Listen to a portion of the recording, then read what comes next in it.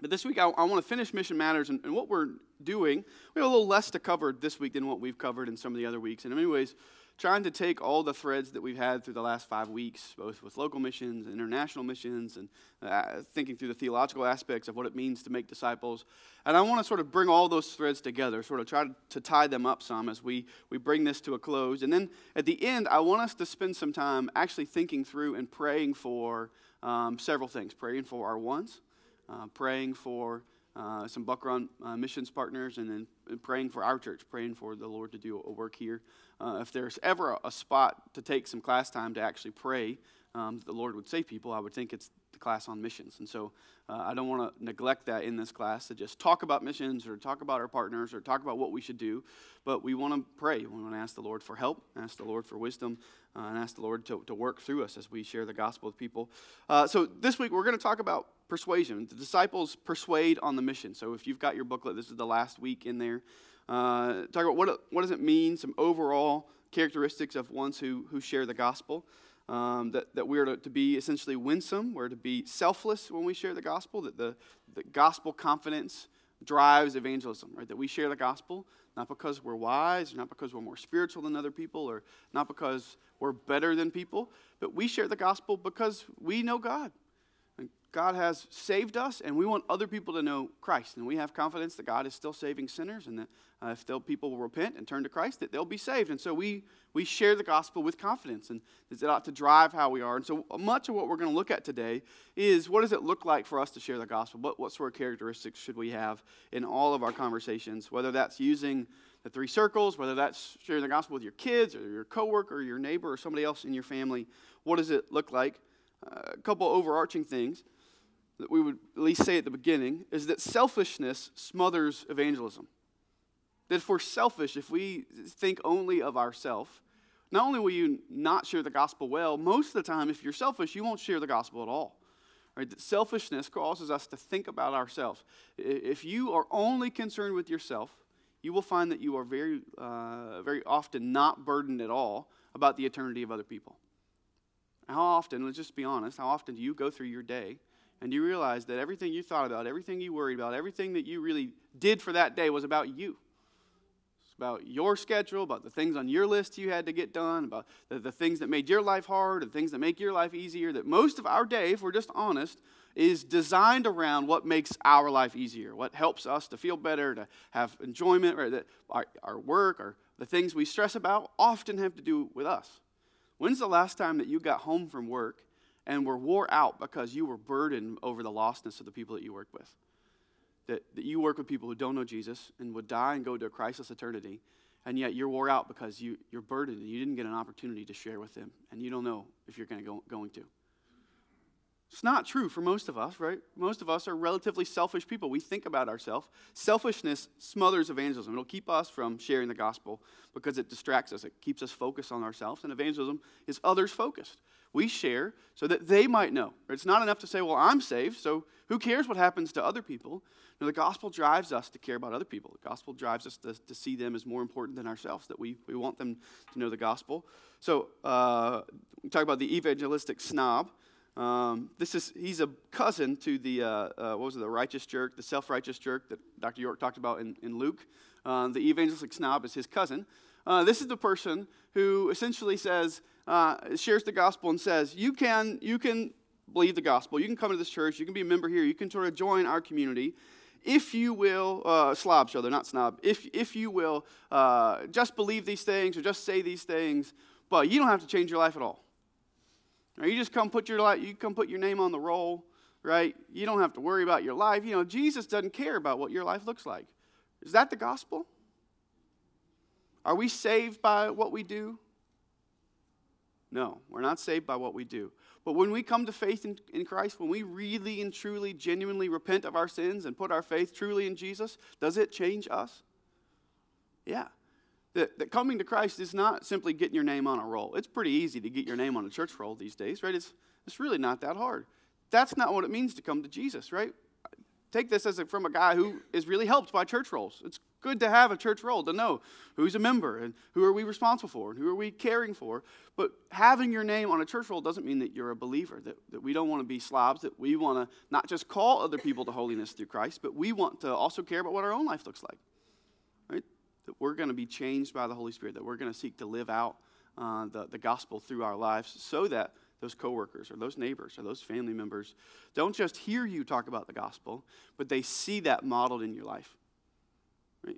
We all probably know people who say one thing and do another.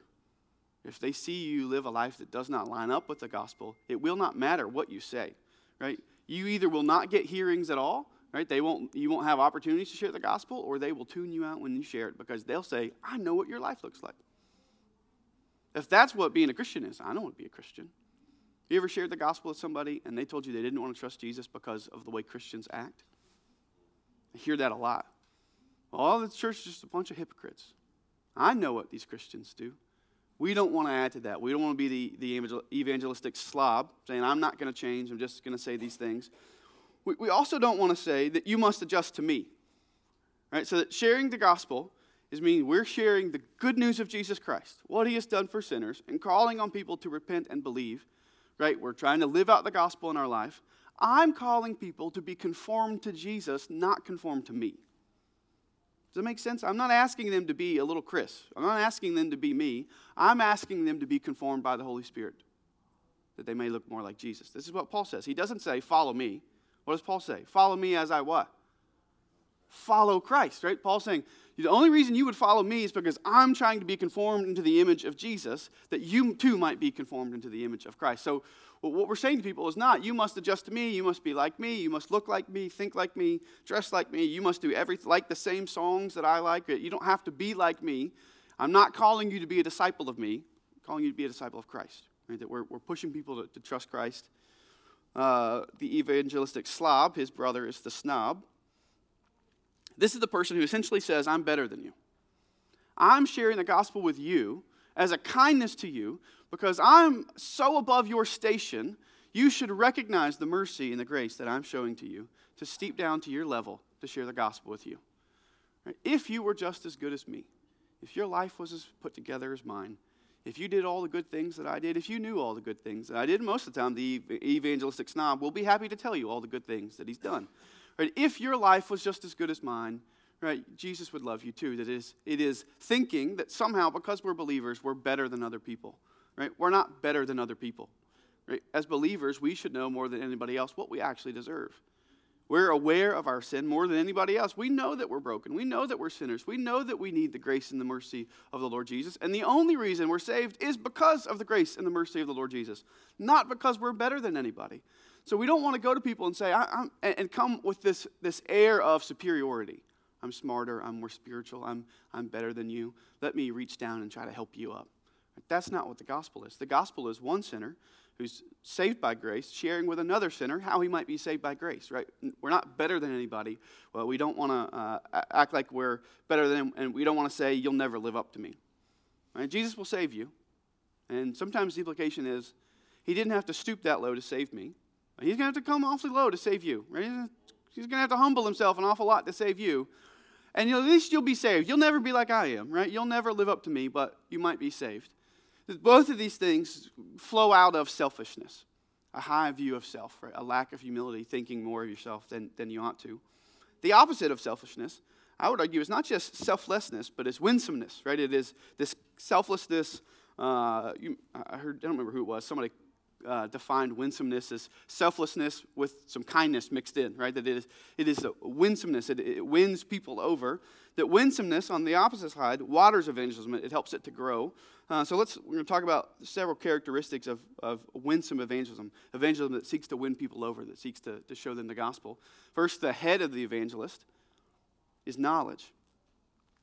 Colossians 1 9 through 10 says, and, and so, since the day we heard, we have not ceased to pray for you asking that you may be filled with the knowledge of his will and all spiritual wisdom and understanding, so as to walk in a manner worthy of the Lord, fully pleasing to him, bearing fruit in every good work, and increasing in the knowledge of God. He says, I'm praying that you would be filled with the knowledge of his will. Right, we, we talked about at the very beginning of this class that you can't share the gospel unless you know the gospel. You can't share what you don't know. That, part of what it means to share the gospel means that we, we want to have the head of an evangelist. We want to know the Bible. If you're afraid of sharing the gospel, if you're afraid that you won't know what to say or you don't know the answers to questions, remember what we say you could do? You can study, right? You can read the Bible. You, you can ask the Lord for help. If you're afraid that you don't know the Bible well enough, right? One, you can pray and ask the Lord for help in the moment and trust that God, God uses you, even if you have little knowledge but you can grow in your knowledge. That's what we do as believers. We, we seek knowledge. We're not mystics uh, thinking that knowledge will drop into our head. No, God has given us His word that we may be committed to it, that we may learn and grow through it, that we would, we would seek knowledge, that we would, would have a full knowledge of the will of God, and that we might impart knowledge to other people. They can't trust Jesus if they've never heard of Him. We've got to tell them about Christ. We've got to tell them about what Jesus has, has done, uh, that they may hear it and repent and believe. The heart of, of an evangelist is love. John says, by, all, by this all people, well, Jesus says this in John 13 35. By this all people will know that you are my disciples if you have love for one another. Much of what we see now classified uh, as evangelism, I would argue, is loveless. That it, it holds out the gospel, but it does so in a demanding way, in a way that is lacking in love.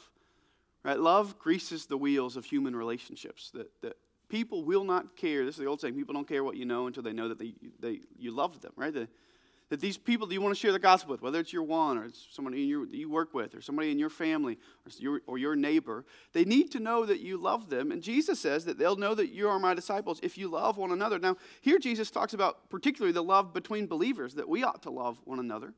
The way that the church loves each other as brothers and sisters in Christ is a testimony to the world that we belong to Him. In, in 1 John, uh, John goes even further to talk about way the way that this love extends to other people, that this is love, that He laid down His life for His friends. That love lays down our life for the people around us, that, that the, the heart of evangelist is one of love, not demanding, not seeking its own uh, way, but in, instead seeking to love other people, to, to draw them into Christ, that they may know the love of Jesus. We have known the love of Jesus, and it's through us that they can know the love of Christ as well, that we get to tell them about that love. You can tell, can't you, when people don't love you?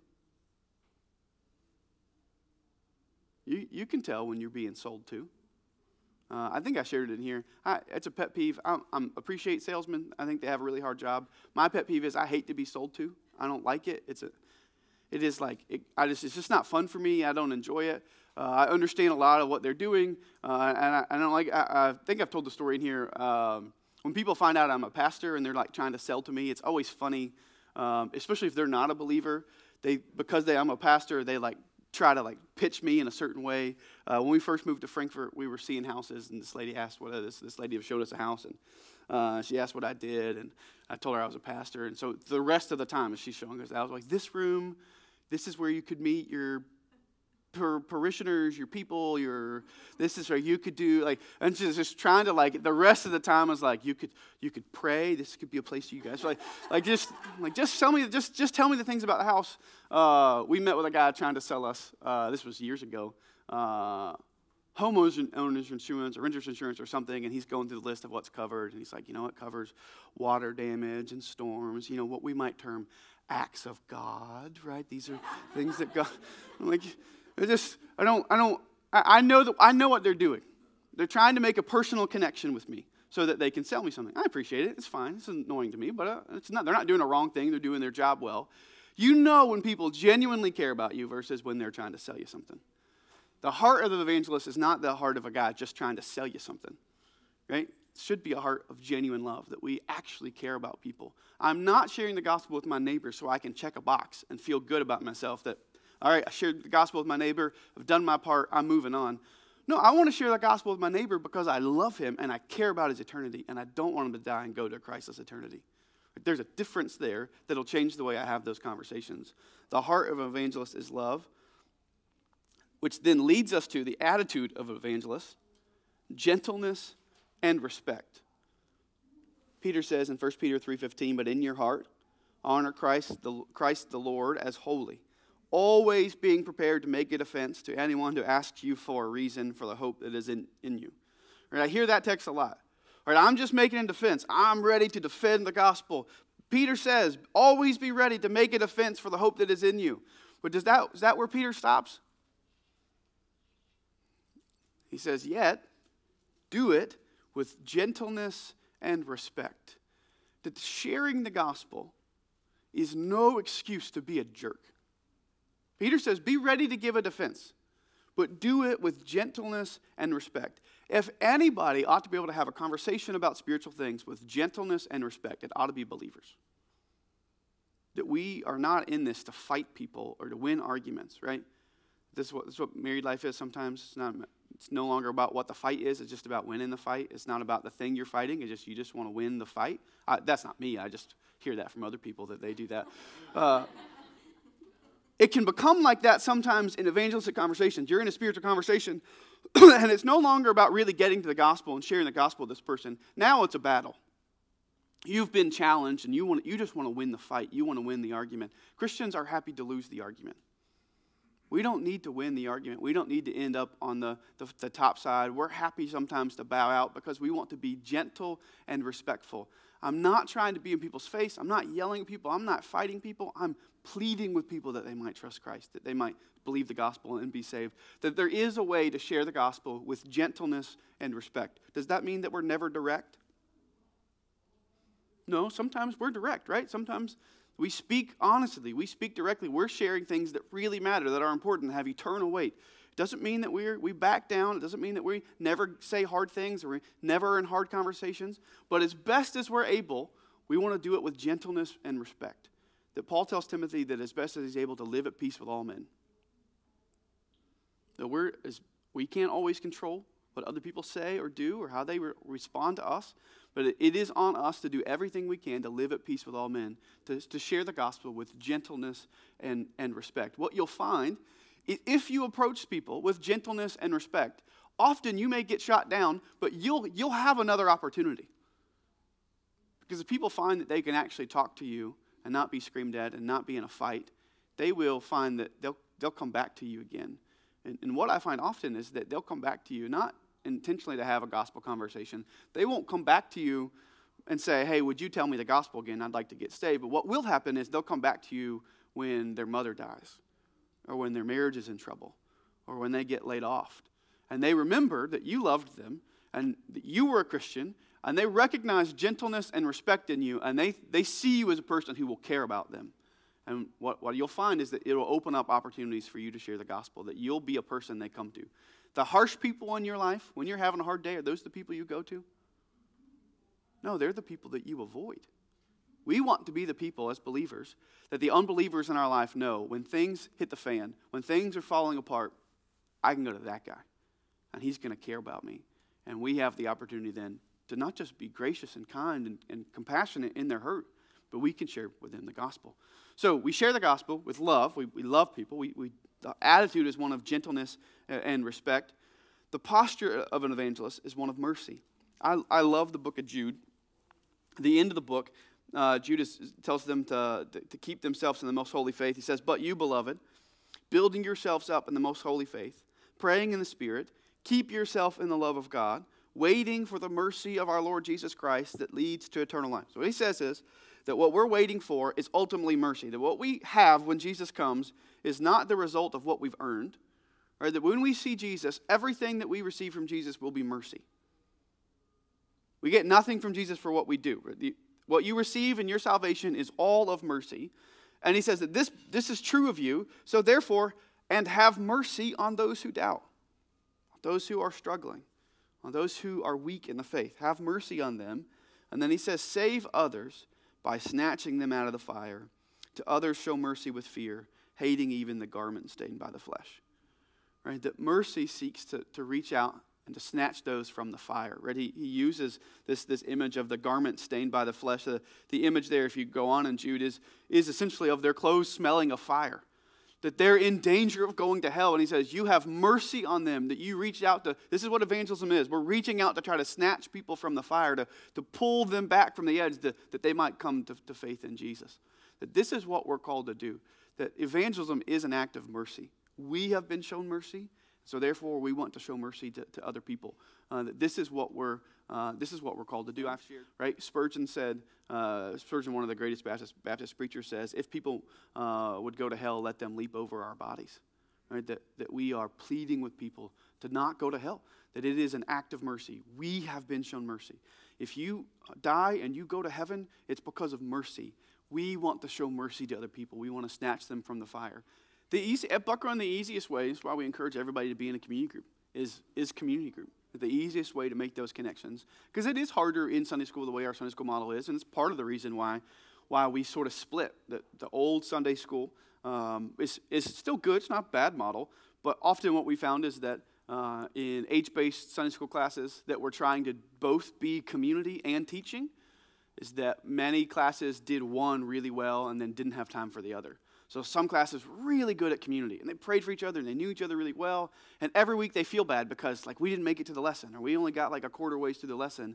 And then there were other classes that like, no, we're we're starting the lesson, we're we're, we're going to get through the lesson, and so they don't know each other as well. They don't spend time, as much time in prayer, and so part of the reason that we said let's let's do more core teaching time by itself. Let's take that community piece and let's break it out where you can actually have more time and you're not trying to shove community in between uh, before and after a lesson.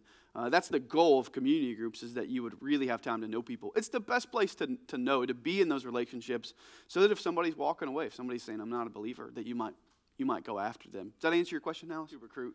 Uh, so that's part of the reason why we have community groups, that we might have accountability, that we might be in community with each other. Um, so the posture of, a, of an evangelist is, is mercy, the hands of an evangelist, service.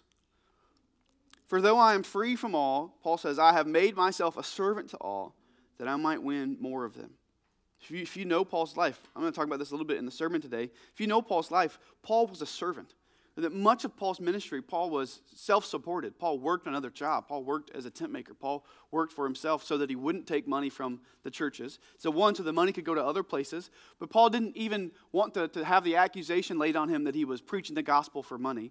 So, instead, Paul served people. He lays down his life for people. Paul Think about how hard it is. It's hard to be a bivocational pastor now. Think about Paul's life, as much as he's traveled, how hard it was for him to, to work his own way. Though he could have received, right? Paul says in 1 Corinthians, he could have received it. He would not have been doing the wrong thing for receiving support from the churches, but he laid down that right to support himself that he might have an opportunity to win more people, that he might gain a hearing with more people. That this is why we serve people, that we might demonstrate for them the love of Jesus and, and win ourselves a hearing. This is what Serve Frankfort is. So when we started Serve Frankfort four ish years ago, three or four years ago, we were trying to, to ask a couple questions. One, how might we demonstrate the love of Jesus to our community? What are places that we can come alongside and say, we love you and we want to support you and we want you to, to know that we love you? So, how can we serve our community schools? How can we, how can we come along them? When we do serve Frankfort and we do landscaping at schools or paint or we're, we're not we don't put up a sign. We're not asking them to put a you know buck run did this sign. What we're trying to do is to show them we love you because we think jesus loves you right? That we want to demonstrate for you the love of jesus that we might gain a hearing right? That one day when scott shows up or the new student pastor whoever that may be lord knows uh, shows up to the high school and he says i'm from buck run. You know what? The wheels are greased a little bit. That we have a good relationship. They know okay, you love us. And Scott says, I want to go have some lunch with some students. Or, or they say, hey, we need somebody to, to come be an assistant coach for the soccer team. And somebody from Buck Run says, I'll do it. And we have a good relationship with them. Oh, yeah, Buck Run people, they're invested in the school. They know us. They love us. Yeah, you come on. And now we have gospel opportunities that we're trying to show the love of Jesus by serving people that we might win some of them. And we're not going to win all of them. You can't win them all. But you can serve people that you might win a hearing, that, that people would see that Buck Run is a place that loves the community, that we love you. And when people see our love, when they see our service poured out, we'll have opportunities uh, to be able to share the gospel. This is what Paul does. He lays down his rights. He doesn't have to do all these things. He lays down his right to, uh, to receive support so that he can serve. Um, I mean, I'm going to talk about this in the sermon today. In, in Ephesus, Paul would make tents every day. The, the work schedule in, in Asia, in Turkey, there was like 7 to 11 and then they would have like a afternoon break and then would pick back up at 4 to 9.30 and so what paul does every day is make tents from 7 to 11 and then from 4 to 9.30 and then from 11 to 4 he would go into the hall of Tyrannus, this, this sort of public debate forum, and he would preach. He would reason with people. He would plead with people. He would disciple people. He would share the gospel on this really long lunch break from 11 to 4. He did that every day for two years in Ephesus. Every day. It's, if you just add that up, that's, he did it six, six days a week, five hours a day for two years. That's like 30, over 3,100 hours that Paul spends right, every day working hard, building tents so that he can have a living and then in the time that he has, going to the public place and finding people, offering his life up, that he might reason with them, that he might plead with them, persuade them to trust Christ. This is what Christian evangelism looks like. It looks like service. That you will find, especially with people you work with, people in your neighborhood, if you find easy ways to serve them, you will be surprised by the gospel opportunities that open up. Uh, we've, we've talked about, uh, even in here, uh, intentional consumerism, right? Going to the same restaurant or going to the same store, asking for the same waitress, like trying to learn their rhythm so that you can have them. Even if you go now, if you go out to lunch today and you ask your waiter or your waitress, hey, is there a way that I could be praying for you? I almost guarantee you, one, that they'll be shocked that you asked and that they'll actually share something with you. You'll find that most people live in a world in which nobody cares about them. Nobody's asking what's going on in their life. No one's asking, How can I pray for you? what's going on in your life. And if you'll show some just simple service, not, not what can you do for me, not how quick can you get my drink, or did you get my order right, but hey, I'm here. God has put us together, right? You're my waiter, you're my waitress. What, what can I be praying for you? I'm not just looking to see what I can get from you, but how can I serve you? How can I be praying for you? What's going on in your life? You'll find that people will open up, that they'll actually share. You'll have gospel opportunities because that's not how the world operates. The world generally doesn't care about people, and as Christians, we get to show that we do care. So, the, the hands of an evangelist are service, that we serve people so that we might uh, be able to have gospel opportunity to show them the love of Jesus. The ethic of an evangelist is persuasion. Paul says in 2 Corinthians 5 11 and 12, Therefore, knowing the fear of the Lord, we persuade others, but what we are known, eh, what we are is known to God, and I hope it is known also to your conscience. We are not commending ourselves to you again, but giving you cause to boast about us, so that you may be able to answer those who boast about outward appearance and not about what is in the heart. Right? That Paul says that knowing the fear of the Lord, we persuade others. Right? I think we talked about this in week one. Every now and then I'll, I'll hear somebody share the gospel or, or hear somebody tell a story about how they shared the gospel. And and they'll share the gospel. They'll say, here's what Jesus has done, here's the, the bare bones of the gospel. And it's presented this way you take it or leave it. Jesus did this thing, right? If you believe, you'll be saved, but I'm saved. It's up to you, right? You just, I don't care what you do, this is your thing, you take it or leave it. Right? Is that what we're called to do as evangelists, as people who share the gospel? Is that what you do with your kids? Hey, when they're sick, do you say, here's the medicine? You take it. You take it or leave it. It's not it's your sickness. I am to me. All right, I can't do this for you. I don't care what happens to you. You take the medicine or you don't. No, you're good parents. You wouldn't do that to your children. Right? When they're young, what do you have to do? You gotta sometimes you gotta make them take it, right? You gotta hide it, but we often wait, yeah, yeah. You, you're trying to say, I, I want you to see why you need to take it. I want you to understand what this is going to do. Right? That we're not just saying take it or leave it. We're persuading, right? Because we believe that this is good for them. As evangelists, we're not simply saying, well, here's the gospel. I don't care what happens to you. I'm safe. This is up to you. If you don't take it, no skin off my back. It doesn't hurt me. No, as, as evangelists, if people come to say, I'm going to share the gospel with you, it makes a difference to look somebody in the eye and say, not just is this true, but I want this for you. I want you to believe the gospel. I am not an uninterested observer, right? I'm just laying this out. I don't care if you eat it or not. I don't care if you take it or not. I don't care what you do. But to look somebody in the, in the eye and say, I don't want you to go to hell. I don't want you to die and to go to a Christless eternity. I, I know grace and mercy and forgiveness in Jesus, and I want you to know the same grace and mercy and forgiveness. I want you to have the joy that is, that is in Christ. Or that we're persuading, we're, we're, we're pressing in to say, we want this for you. We care about you. We, we actually want to see you trust Jesus. Not we're uninterested. Right? That, that what we are doing is pers- we're persuading, we're answering questions.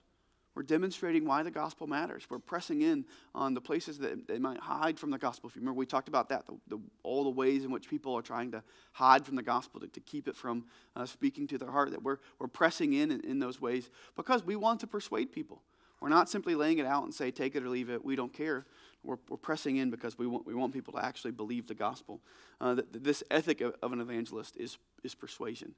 You think about the difference it would make if the people in your workplace, the people in your family, the people on your street, not just knew that you were a Christian, but actually believed that you wanted them to be a Christian. You remember the story Dr. York shared uh, a few weeks ago, the first when he did the first two parables of Luke 15, of the mother who said, "I want you to come share the gospel with my son." And he's like, "Yeah, you you have him set up an appointment with me." Right, that it was not, there was not an urgency there to share the gospel with him. It was, yeah, if he wants to come, I'll, I'll talk to him. If he'll, if he'll come talk to me, you think about what would what the difference that it would make in your life if the people in your workplace not only knew that you were a believer, but knew you wanted them to be a Christian, that you cared about them, that when you shared the gospel, you weren't simply trying to shove your stuff on them, but you actually wanted them to know the mercy and the grace and the joy that is found in Christ. It matters. When we try to persuade people, we approach it differently. Now, we can't manipulate people, right? Even if we could manipulate people into Jesus, that's not real faith. We're not trying to scare people into Jesus. We're not trying to manipulate people into Jesus. I'm not trying to argue people into Jesus, right? When we, so when I say persuasion, hear me. I'm not saying you twist their arm, you, you cajole them, you, you do things to manipulate them into Christ, right? That, I would argue, causes more damage than it does good. Right? All of us know people that are reluctant to actually hear the gospel because they were manipulated at a service when they were 12 and they walked an aisle. And though it's really clear they don't know Jesus, right? Well, I walked an aisle. I signed a card. I got baptized. Right? That, there was a guy back 40 years ago that said, I'm good, so I don't need to worry about it. Right? Because somebody manipulated them into making a decision, into walking an aisle, into signing a card. We're not trying to manipulate people. We're not trying to control them, to twist their arm. We're persuading them. We're showing them what the gospel is. We're showing them the alternative. We're, we're speaking from a Christian worldview, answering questions, pressing in as often as we can. So, one of the questions that we, we often ask is well, what do you do? share the gospel with a coworker, you share the gospel with a neighbor, and they shut you down. And they say, you know, I'm not interested. I don't want to, I appreciate it. It's your thing. Glad for you. I'm happy that you have that. But, but that's, that's not for me. So, what do you do with that person? You pray for them.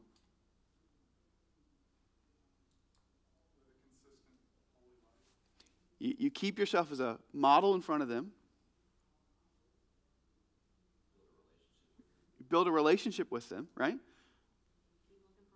And you keep looking for opportunities, right? Sometimes those won't come again. Sometimes somebody will shut you down and they will continue to shut you down. They will not open back up and you will not have another opportunity. But that's not true of everybody. There are a lot of people now who are believers who one day said, I'll never be a Christian. That's your thing, that's not my thing. You think about uh, Herschel and Tanya's, Tanya's father, Herschel's father in law. For years and years and years said, I'm happy for you guys. I'm glad that's your thing.